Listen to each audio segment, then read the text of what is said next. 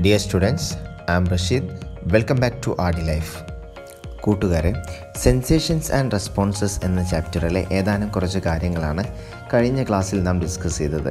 നിങ്ങൾ ഓർക്കുന്നുണ്ടായിരിക്കും what is stimuli what is the difference between external and internal stimuli what are the examples അതുപോലെ തന്നെ what is receptor and impulses what is the function of nerve system ഈ കാര്യങ്ങളെല്ലാം നിങ്ങൾ പഠിച്ചിട്ടുണ്ടാകുമെന്ന് വിചാരിക്കുന്നു. ഇന്ന് നാം discuss ചെയ്യാൻ പോകുന്ന രണ്ട് കാര്യങ്ങളാണ് how impulses are generated. Stimuli തട്ടുന്ന സമയത്ത് എങ്ങനെയാണ് ഇമ്പൾസസ് ജനറേറ്റ് ചെയ്യപ്പെടുന്നത്? അതുപോലെ തന്നെ എന്താണ് നെർവ് സിസ്റ്റത്തിന്റെ structure and functional unit nerve system എന്ന് പറയുന്ന നമ്മുടെ ശരീരത്തിന്റെ ഓർഗൻ സിസ്റ്റത്തെ ഒരു ഓർഗൻ സിസ്റ്റമാണല്ലോ നെർവ് സിസ്റ്റം ഈ ഓർഗൻ സിസ്റ്റത്തെ എന്തുകൊണ്ടാണ് നിർമ്മിച്ചിട്ടുള്ളത്? ഇതിന്റെ ബേസിക് യൂണിറ്റ് എന്താണ്? ഇന്നത്തെ ക്ലാസ്സിൽ നാം ആദ്യം ഡിസ്കസ് ചെയ്യാൻ പോകുന്നത് ന്യൂറോണിന്റെ സ്ട്രക്ചറാണ്. The structural and functional unit of nerve system is called neuron എന്ന് പറഞ്ഞാൽ നമ്മുടെ നെർവസ് സിസ്റ്റത്തിന്റെ സ്ട്രക്ചറലും ഫങ്ഷണലുമായിട്ടുള്ള അതിന്റെ ഘടനാപരവും ജീവധർമ്മപരവുമായിട്ടുള്ള ബേസിക് യൂണിറ്റിനെ വിളിക്കുന്ന പേരാണ് ന്യൂറോൺസ് ഒരു ന്യൂറോണിന്റെ സ്ട്രക്ചറാണ് ഈ പേജിൽ കാണിച്ചിട്ടുള്ളത്. ഈ ന്യൂറോണിന് പ്രധാനപ്പെട്ട ഒരുപാട് ഭാഗങ്ങളുണ്ട്. അതിലേറ്റവും പ്രധാനപ്പെട്ട ഭാഗമാണ് അതിന്റെ സെൽ ബോഡി അതിന്റെ മറ്റു സെൽ ഓർഗണലെല്ലാം കാണുന്ന ഒരു സാധാരണ എല്ലാ സെല്ലിലും ഉള്ളതുപോലെ മറ്റു സെൽ ഓർഗണലെല്ലാം ഉള്ളതുപോലെയുള്ള അതിന്റെ ഏറ്റവും പ്രധാനപ്പെട്ട ഭാഗമാണ് സെൽ ബോഡി.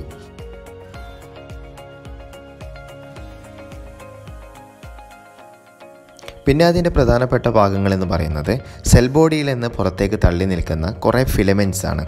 ഷോർട്ട് ഫിലമെന്റ്സും ഉണ്ട് ലോങ് ഫിലമെന്റും ഉണ്ട്. ഷോർട്ട് ഫിലമെന്റുകളെ വിളിക്കുന്ന പേര് ഡെൻഡ്രോൺ എന്നാണ്. ഡെൻഡ്രോണിന് കുറേ ബ്രാഞ്ചസ് ഉണ്ട് അതിനെ വിളിക്കുന്നത് ഡെൻഡ്രൈറ്റ്സ് എന്നാണ്. അതുപോലെ തന്നെ ലോങ് ഫിലമെന്റിനെ വിളിക്കുന്ന പേര് ആക്സോൺ എന്നാണ്. The longest filament is called axon ആക്സോണിന്റെ ബ്രാഞ്ചസിനെ വിളിക്കുന്ന പേര് ആക്സോണേറ്റ് എന്നാണ്.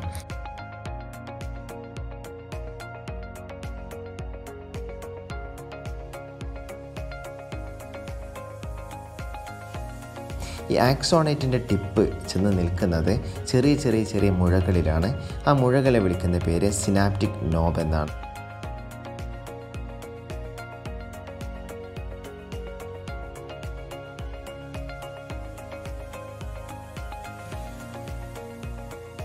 ചില ന്യൂറോണിന്റെ അതിന്റെ ആക്സോണിനെ ആവരണം ചെയ്തുകൊണ്ട് കവർ ചെയ്തുകൊണ്ട് ഒരു മെംബ്രെയിൻ കാണും. ആ മെംബ്രെയിനെ വിളിക്കുന്ന പേര് മൈലിൻ ഷീത്ത് എന്നാണ്.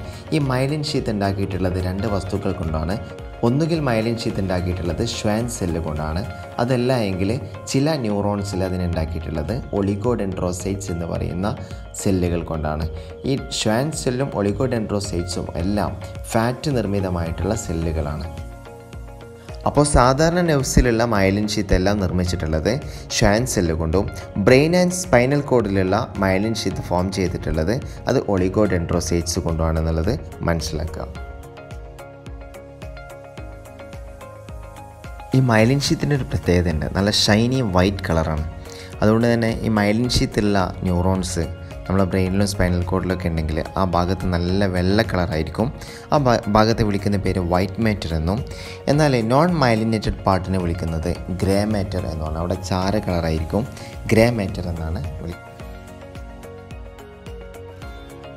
അതുപോലെ ഈ ടോപ്പിക്കിലെ ഏറ്റവും പ്രധാനപ്പെട്ട മറ്റൊരു പോയിന്റാണ് ഫങ്ഷൻസ് ഓഫ് മൈലിൻ ഷീത്ത് എന്തൊക്കെയാണത്?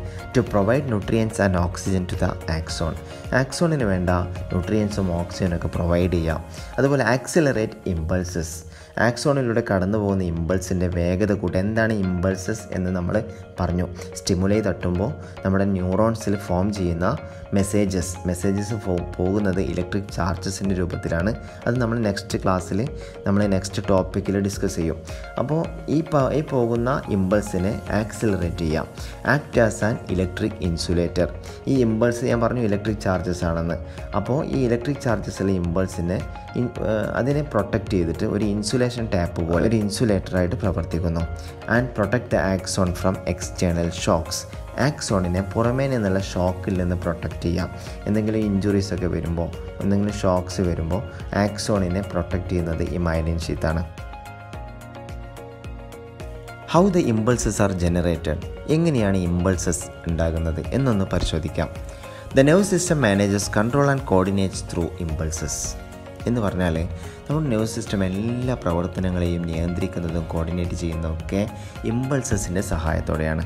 എന്തൊക്കെയുണ്ട് നമ്മൾ നെർവ് സിസ്റ്റത്തിൽ ബ്രെയിൻ ബ്രെയിൻ ഉണ്ട് അതുപോലെ തന്നെ സ്പൈനൽ കോഡ് ഉണ്ട് കുറേ നെർവ്സ് ഉണ്ട്.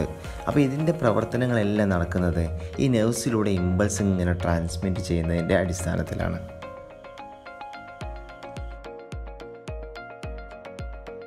നമുക്കറിയാം നമ്മുടെ നെർവസ് സിസ്റ്റത്തിലെ റിസപ്റ്റേഴ്സ് ഉണ്ടെന്ന്. ഈ റിസപ്റ്റേഴ്സ് ആണല്ലോ സ്റ്റിമുലൈകളെ അക്സെപ്റ്റ് ചെയ്യുന്നത്. എക്സ്റ്റേണൽ ആൻഡ് ഇന്റേർണൽ സ്റ്റിമുലൈകളെ അതിനനുസരിച്ചാണല്ലോ ഇമ്പൾസസ് ഫോം ചെയ്യുന്നത്. ഇവിടെ എങ്ങനെയാണ് ഇമ്പൾസസ് ജനറേറ്റ് ചെയ്യുന്നത് എന്ന് നമുക്കൊന്ന് പരിശോധിക്കാം. ഈ സ്റ്റിമുലൈ തട്ടുന്നതിന് മുമ്പ് ഈ റിസെപ്റ്റേഴ്സിന്റെ റിസെപ്റ്റേഴ്സ് എന്ന് പറഞ്ഞാൽ ന്യൂറോണിന്റെ ഔട്ടർ സർഫസ് ഫുള്ള് പോസിറ്റീവ്ലി ചാർജഡും ഇന്നർ സർഫസ് എന്ന് വെച്ചാൽ പ്ലാസ്മ മെമ്പറിന്റെ അകത്ത് നെഗറ്റീവ് ചാർജും പുറത്ത് പോസിറ്റീവ് ചാർജും ആയിരിക്കും. The outer surface of the plasma membrane of the neuron is positively charged and the inner surface is negatively charged this is due to the difference in the distribution of certain ions പ്രധാനമായിട്ടും sodium potassium തുടങ്ങിയ അയോണുകളുടെ ഡിസ്ട്രിബ്യൂഷനിലെ വ്യത്യാസം മൂലമാണ് ഈ ചാർജുകൾ എങ്ങനെ വിന്യസിച്ചിട്ടുള്ളത്. When stimulated stimuli തട്ടുന്ന നേരത്ത് the distribution of the ion in the particular part changes ആ ഭാഗത്തുള്ള ചാർജുകളിലുള്ള വിന്യാസത്തിൽ വ്യത്യാസമുണ്ടാവുകയും തൊട്ടടുത്ത ഭാഗത്തും സമാന രീതിയിലുള്ള മാറ്റമുണ്ടാവുകയും ചെയ്യുന്നു. As this process proceeds impulses get transmitted as electric charges അപ്പോൾ ഈ പ്രവർത്തനങ്ങൾ ഇങ്ങനെ തുടരുമ്പോൾ എന്ത് സംഭവിക്കും? ഇമ്പൾസുകൾ ഇങ്ങനെ ട്രാൻസ്മിറ്റ് ചെയ്യാൻ തുടങ്ങും ആസ് ഇലക്ട്രിക് ചാർജസ് ഇലക്ട്രിക് ചാർജുകളായിട്ട് positive negative ചാർജുകളായിട്ട് the nerve impulses are nerve impulse എന്ന് പറഞ്ഞാൽ എന്താണ്? The messages transmitted through the neuron ന്യൂറോണുകളിലൂടെ transmit ചെയ്യുന്ന മെസ്സേജുകളെയാണ് ഈ പറയുന്ന പോസിറ്റീവ് നെഗറ്റീവ് ചാർജുകളെയാണ് എന്ന് പറയുന്നത്. ഇമ്പൾസസ് എന്ന് വിളിക്കുന്നത്. ഇങ്ങനെ റിസപ്റ്റർ സെല്ലിൽ ഫോം ചെയ്യുന്ന ഇമ്പൾസസ് അത് ബ്രെയിനിൽ എത്തേണ്ടതുണ്ട്. ബ്രെയിൻ അനലൈസ് ചെയ്തതിന് ശേഷം ബ്രെയിൻ എന്ത് ചെയ്യും? പ്രോപ്പറായിട്ടുള്ള റെസ്പോൺസസ് ഉണ്ടാക്കും. ഈ റെസ്പോൺസസ് ഉണ്ടാക്കുമ്പോൾ അതിനനുസരിച്ചിട്ടാണ് നമ്മുടെ ശരീരം പ്രതികരിക്കുന്നത് പ്രവർത്തനങ്ങളൊക്കെ നമ്മുടെ ശരീരത്തിൽ ബോഡി ആക്ടിവിറ്റീസ് എല്ലാം നടക്കുന്നത്. അപ്പോൾ ഇങ്ങനെ ഉണ്ടാകുന്ന ഇമ്പൾസസ് ഇങ്ങനെ റിസപ്റ്റേഴ്സിൽ ഫോം ചെയ്യുന്ന ഇമ്പൾസസ് എങ്ങനെയാണ് ബ്രെയിനിൽ എത്തുന്നത്. ത്രൂ സിനാപ്സ് എന്താണ് synapse synapse is the junction between two neurons or a neuron and a muscle cell or a neuron and a glandular cell synapse is the junction between two neurons synapse എന്ന് പറഞ്ഞാൽ രണ്ട് ന്യൂറോണുകൾ കൂടിച്ചേരുന്ന ഭാഗമാണ്. അല്ലെങ്കിൽ ഒരു ന്യൂറോണും muscle സെല്ലുമായിട്ട് കൂടിച്ചേരുന്ന ഭാഗം. അല്ലെങ്കിൽ ഒരു ന്യൂറോണും ഗ്ലാനുലാർ സെല്ലുമായിട്ട് കൂടിച്ചേരുന്ന ഭാഗം.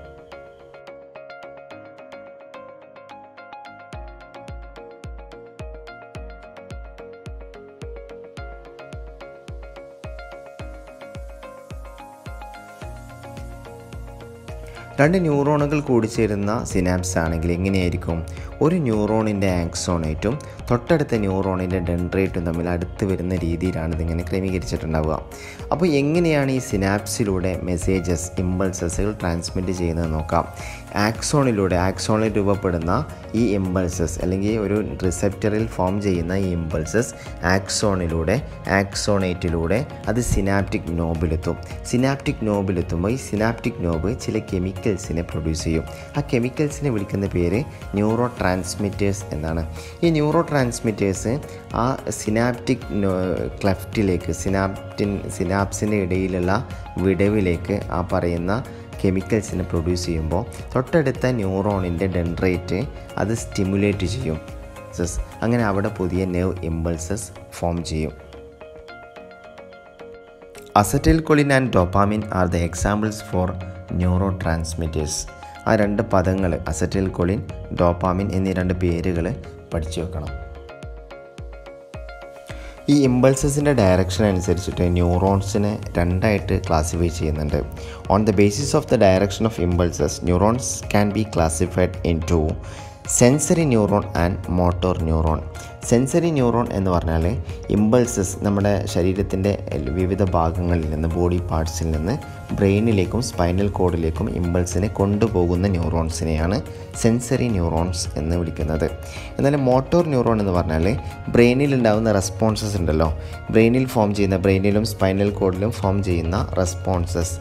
അത് നമ്മുടെ ബോഡി പാർട്സിലേക്ക് തിരിച്ചു കൊണ്ടുവരിക. അതിനെയാണ് എന്ത് പറയുക മോട്ടോർ ന്യൂറോൺസ് എന്ന് വിളിക്കുക. ഇപ്പറഞ്ഞ പറഞ്ഞ ന്യൂറോൺസിന്റെ ആക്സോണുകൾ കൂടി ചേർന്നിട്ടാണ് നെർവ്സ് ഉണ്ടായിട്ടുള്ളത് നാഡികൾ ഉണ്ടായിട്ടുള്ളത്. അതുകൊണ്ട് തന്നെ നെർവ്സും ഡിഫറെന്റ് ടൈപ്സ് ഉണ്ട്. മൂന്ന് തരത്തിലുള്ള നെർവ്സാണുള്ളത് സെൻസറി നെർവ്സ് അത് സെൻസറി ന്യൂറോൺസ് കൂടി ചേർന്നുണ്ടായതാണ്. മോട്ടോർ നെർവ്സ് എന്ന് പറഞ്ഞാൽ അത് മോട്ടോർ ന്യൂറോൺസ് കൂടി ചേർന്നതാണ്. പിന്നെ മിക്സ്ഡ് നെർവ്സ് ഉണ്ട് അത് രണ്ടും കൂടെ കൂടി ചേർന്നത്. സെൻസറി ആൻഡ് മോട്ടോർ നെർവ്സ് അപ്പോൾ സെൻസറി നെർവ്സിന്റെ ഫംഗ്ഷൻ എന്തായിരിക്കും? Carry impulses from various part of the body to the brain and spinal cord അതുപോലെ തന്നെ മോട്ടോർ നെർവിന്റെ ഫംഗ്ഷൻ തിരിച്ച് ഓപ്പോസിറ്റ് ഇങ്ങോട്ട്. Carry impulses from brain and spinal cord to various part of the body അപ്പോൾ mixed nerves എന്തായിരിക്കും? Carry impulses to and from ബ്രെയിനിൽ നിന്ന് അങ്ങോട്ടും ഇങ്ങോട്ടും അതുപോലെ തന്നെ സ്പൈനൽ കോഡിൽ നിന്ന് സ്പൈനൽ കോഡിലേക്കും അങ്ങോട്ടും ഇങ്ങോട്ടും എന്ത് ചെയ്യുന്നു? ഇമ്പൾസ് ട്രാൻസ്മിറ്റ് ചെയ്യാൻ സഹായിക്കുന്നുണ്ട് അങ്ങനെ മൂന്ന് തരത്തിലുള്ള നെർവ്സ് ഉണ്ട് എന്ന് മനസ്സിലാക്കി വെക്കുക. സെൻസേഷൻസ് ആൻഡ് റെസ്പോൺസസ് എന്ന ചാപ്റ്ററിലെ രണ്ടാമത്തെ ക്ലാസ്സാണ് ഇന്ന് ഈ വീഡിയോയിലൂടെ നിങ്ങൾ കണ്ടത്. ക്ലാസ് കണ്ടതിന് ശേഷം ടെക്സ്റ്റ് ബുക്ക് ആവർത്തിച്ച് ആവർത്തിച്ച് വായിക്കുക. എന്തെങ്കിലും സംശയങ്ങളുണ്ടെങ്കിൽ ചോദിക്കാൻ മറക്കരുത്. കൂടാതെ ക്ലാസ് ഇഷ്ടപ്പെട്ടാൽ നിങ്ങൾ കൂട്ടുകാരുമായിട്ട് ഷെയർ ചെയ്യുക. വീണ്ടും അടുത്ത ക്ലാസ്സിൽ കാണാം. Thank you bye bye